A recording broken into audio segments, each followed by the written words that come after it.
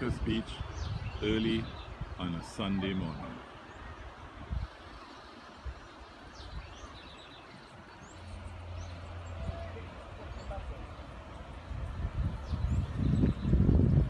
And as you look across, you can see